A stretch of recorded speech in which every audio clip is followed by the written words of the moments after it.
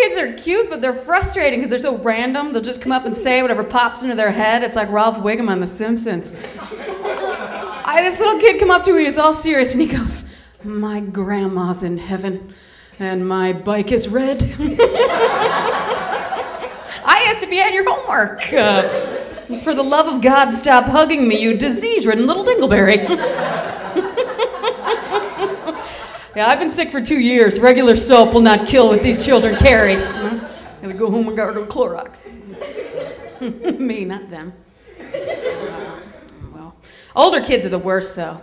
Like seventh and eighth grade children, they are evil personified. I was in an eighth grade classroom. A student actually told me to shut the hell up, bitch. That's always a special hallmark moment for every sub. When you find out that mommy's little gangbangers all grown up, huh? Why don't you stop off at the principal's office on your way to prison? Good.